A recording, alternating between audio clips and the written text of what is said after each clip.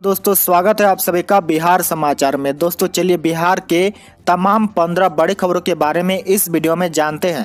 तो फटाफट से आप सभी कमेंट बॉक्स में ज़रूर बताएँ कि आप बिहार के किस ज़िले में रहते हैं। साथ ही अपनी तरफ़ से आप इस वीडियो को एक प्यारा लाइक ज़रूर कर दें। साथ ही आपके मन में अगर कोई भी सवाल हो तो आप हमें नीचे कमेंट बॉक्स में ज़रूर पूछें। आज की सबसे पहली खबर बिहार में 27 जनवरी के बाद से पूर्ण रूप से मौसम होगा साफ़। तीन दिन और पड़ेगा कनकनी वाले ठंड। जी हाँ बिहार में 27 जनवरी के बाद से पूर्ण रूप से मौसम साफ़ होगा। मौसम विज्ञान केंद्र की ओर से जारी पूर्वानुमान के अनुसार पटना सहित आसपास क्षेत्रों में हल्की बारिश होने की संभावना है। इस दौरान बादल छाए रहेंगे। वहीं बादल छाए रहने से दिन का मौसम साफ़ नहीं रहेगा और न्यूनतम तापमान में थोड़ी वृद्धि होगी। वहीं अधिकतम तापमान गिर सकता है, इसलिए लोगों को अधिक ठंड का अनुभव हो सकता है। पूर्वानुमान के अनुसार अगले दो दिनों तक बारिश की संभावना है। अगली बड़ी खबर, बिहार में 12 से 14 साल तक के बच्चे को टीके के बारे सूची बनाने की तैयारी शुरू। जी हाँ कोरोना वायरस से नाबालिग बच्चों को बचाने की कवायद तेज हो गई है। वर्तमान में 15 से 18 साल से कम उम्र के बच्चों को लगातार वैक्सीन लगाई जा रही है। अब टीकाकरण अभियान से 12 से 14 साल तक के बच्चों को भी शामिल किया जाएगा। इन बच्चों को टीका लगाने का अभियान मार्च में शुरू हो सकता है। केंद्रीय स्वास्थ्य मंत्रालय से इसको लेकर संकेत मिल गए हैं, जिसके बाद स्वास्थ्य विभाग ने इस आयु वर्ग की सूची बनाने की तैयारी करने जा रहा है। इसके लिए जल्द ही आशा, आंगनबाड़ी कार्यकर्ताओं और एएनएम को निर्देश जारी किया जाएगा। अगली बड़ी खबर, बिहार में मुखिया की अनुमति से नील गाय को मारा जा सकेगा। सरकार से मिली मंजूरी। जी हाँ फ़सलों को बर्बाद कर रहे नील गाय और जंगली सुअर को लोग अब मुखिया की अनुमति से ही मार सकेंगे। पंचायती राज विभाग ने जलवायु परिवर्तन, पर्यावरण एवं वन विभाग के इस प्रस्ताव को हरी झंडी दे दी है। पंचायती राज मंत्री सम्राट चौधरी ने कहा कि किसानों के नुकसान को बचाने को ध्यान में रखते हुए विभाग ने इसकी मंजूरी दी है। अभी जलवायु परिवर्तन, पर्यावरण एवं वन विभाग के मुख्य वन्य प्राणी प्रतिपालक मारने की अनुमति देने के लिए प्राधिकृत है।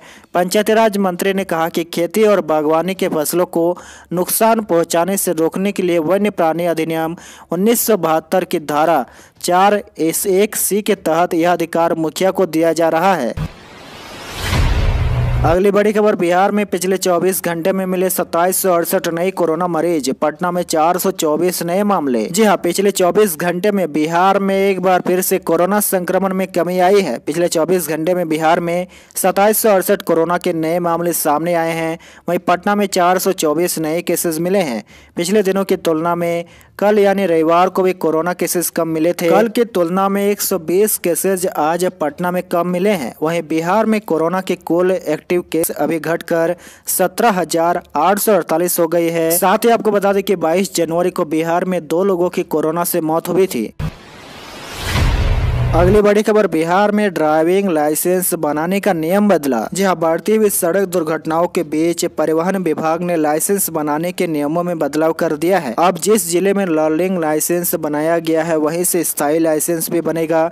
दूसरे ज़िले में स्थायी लाइसेंस बनाने का ऑप्शन खत्म कर दिया है। इस संबंध में परिवहन विभाग ने सभी जिलों के जिला परिवहन अधिकारी को पत्र लिखकर सॉफ्टवेयर में आवश्यक व्यवस्था करने का आदेश दिया है। परिवहन विभाग की वेबसाइट पर अब तक आवेदक लर्निंग लाइसेंस के बाद कहीं से भी स्थायी लाइसेंस बनाने का ऑप्शन था। इसके कारण जिन जिलों में ऑटोमेटिक ड्राइविंग टेस्ट अनिवार्य है, वहाँ से लर्निंग लाइसेंस बनाकर दूसरे जिलों में जाकर बिना टेस्ट दिए ही स्थायी लाइसेंस बना लेते थे।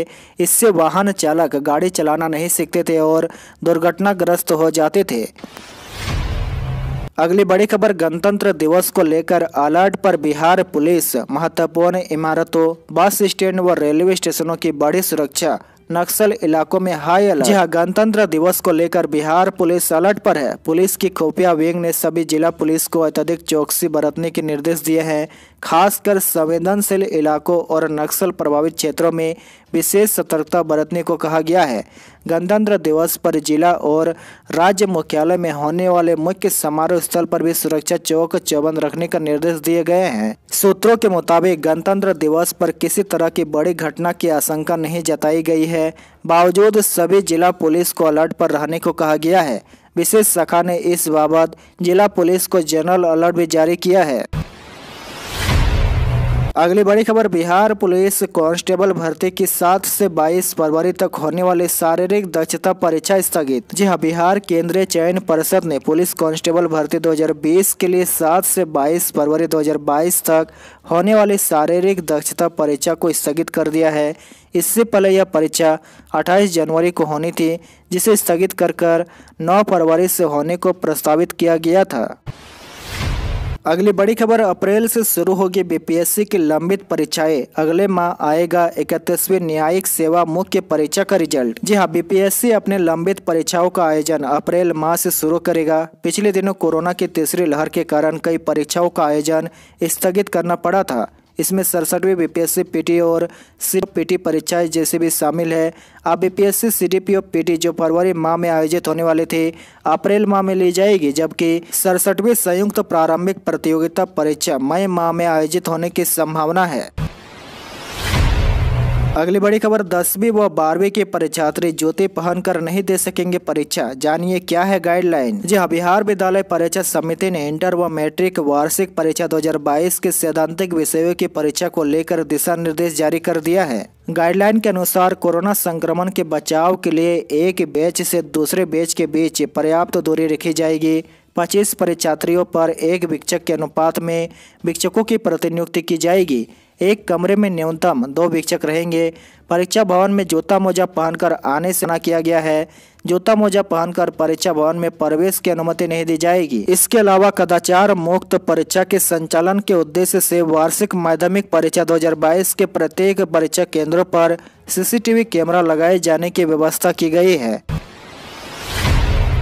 अगली बड़ी खबर, बिहार में अब एक ही नंबर से बुक होगी सरकारी और प्राइवेट एंबुलेंस। किराया भी होगा फिक्स। जी हाँ बिहार में चल रहे सभी सरकारी एवं निजी एंबुलेंस को एक ही नंबर से जोड़ने की कोशिश तेज हो गई है। सभी सरकारी निजी एंबुलेंस को एक ही नंबर 102 से होगा, जिसे डायल करने पर पीड़ित तक सहायता पहुंचेगी। सड़क हादसों में हतायत की संख्या कम करने व त्वरित मदद करने के लिए यह निर्णय लिया गया है। परिवहन विभाग के निर्देश पर स्वास्थ्य विभाग ने इस दिशा में प्रक्रिया शुरू कर दी है। मार्च तक इस काम को पूरा करने का लक्ष्य रखा गया है। इसके अलावा एक ही आपातकालीन नंबर से जुड़ने के बाद सभी प्राइवेट एंबुलेंस का राज्य स्तर पर डेटाबेस हर ज़िले में स्वास्थ्य विभाग के पास रहेगा। इनकी सरकारी निगरानी तो होगी ही।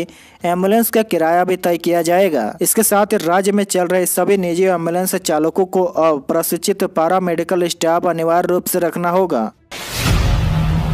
बड़ी खबर, बिहार में अगले 48 घंटे तक खराब रहेगा मौसम। पटना सहित 14 जिलों में बारिश के साथ बिजली का अलर्ट, ओला गिरने के भी आसार। जी मौसम विभाग ने बिहार में अगले 48 घंटे तक अलर्ट जारी किया है। राज्य के कई इलाकों में गरज के साथ आकाशीय बिजली गिरने और बारिश का पूर्वानुमान जताया है। इस दौरान ओला गिरने की भी संभावना है। मौसम विभाग ने अगले 24 से 48 घंटे को लेकर अलग अलग अलर्ट जारी किया है। मौसम विभाग के मुताबिक अरब सागर और बंगाल के खाड़ी से आ रही ठंडी हवा का असर राज्य में देखा जा सकता है। इसे लेकर मौसम विभाग ने पटना सहित अन्य जिलों में लोगों से सावधान रहने की अपील की है। मौसम विभाग के अनुसार राज्य के दक्षिण, पश्चिम बिहार के छह जिलों बक्सर, भोजपुर, रोहतास, भभुआ, औरंगाबाद, अरवल तथा दक्षिण मध्य बिहार के आठ ज़िले पटना गया नालंदा शेखपुरा नवादा बेगूसराय, लखीसराय, जहानाबाद के कुछ स्थानों पर गरज के साथ हल्की से मध्यम वर्षा का आकाशीय बिजली का पूर्वानुमान है। इसके साथ ही कुछ स्थानों पर ओला पड़ने की भी संभावना जताई गई है। अगली बड़ी खबर, कोरोना की तीसरी लहर का पीक करीब। आईआईटी मद्रास ने कहा 6 फरवरी तक सबसे ज़्यादा केस होंगे किसी के संक्रमण फैलाने की दर यानी आर वैल्यू भी घटी। जी हाँ देश में कोरोना की तीसरी लहर का पीक चौदह दिनों में आ जाएगा। आईआईटी मद्रास ने अपने स्टडी में यह दावा किया है। इसमें कहा गया है कि कोरोना के मामले 6 फरवरी तक यानी दो हफ्तों में चरम पर पहुँच जाएँगे। तीसरी लहर का मुख्य कारण कोरोना के ओमिक्रॉन वेरिएंट को माना जा रहा है।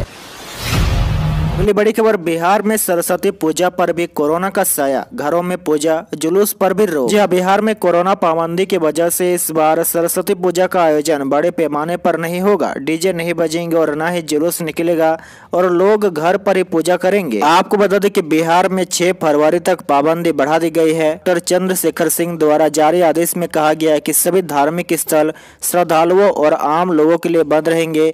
किसी भी प्रकार का आयोजन प्रशासन से अनुमति लेने के बाद ही होगी। डीजे और जुलूस पर भी रोक लगा दिया गया है। बड़ी खबर दो बूंद ज़िंदगी की। कोरोना प्रोटोकॉल के साथ बिहार में पल्स पोलियो अभियान 27 फरवरी से। हाँ कोरोना प्रोटोकॉल के तहत बिहार में पाँच दिवसीय पल्स पोलियो अभियान 27 फरवरी से प्रारंभ होगा। राष्ट्रीय पल्स पोलियो टीकाकरण अभियान की तिथि पूर्व में 23 जनवरी 2022 निर्धारित की गई थी जिसे कोरोना की वजह से बढ़ाकर अब 27 फरवरी 2022 कर दिया गया है। राज्य में कोरोना के बढ़ते प्रकोप से केंद्र सरकार को बिहार के स्वास्थ्य विभाग ने एक पत्र के माध्यम से अवगत कराया था कि अभी पल्स पोलियो टीकाकरण अभियान को चलाना जोखिम भरा रहेगा। अन्य की बड़ी खबर, ट्रेन में सफ़र में आप देर रात तक गप्पे नहीं, फ़ोन पर भी तेज साउंड नहीं चला सकते हैं। रेलवे ने लागू कर दी है ऐसी व्यवस्था। जी हाँ यात्रियों के लिए यात्रा को और अधिक आरामदायक और सुखद बनाने के लिए भारतीय रेलवे ने नए नियमों का एक नया नियम बनाया है। अब भारतीय रेलवे द्वारा लाउड म्यूज़िक और लाउड फ़ोन पर बात करने पर प्रतिबंध लगाने की तैयारी में है। नए नियम के बाद जो यात्री तेज आवाज़ में बात करते या तेज संगीत बजाते हुए पकड़े जाएँगे, उनके साथ सख्ती से निपटा जाएगा। इस बारे में रेलवे बोर्ड ने सभी जोनल रेलवे के नाम एक चिट्ठी भेज दी है। आज के लिए आपका सवाल बताए कि बिहार इंटर और मैट्रिक परीक्षा में सीसीटीवी कैमरा लगाने का फैसला सही है या नहीं? इसका जवाब आप हमें नीचे कॉमेंट करके ज़रूर बताएँ।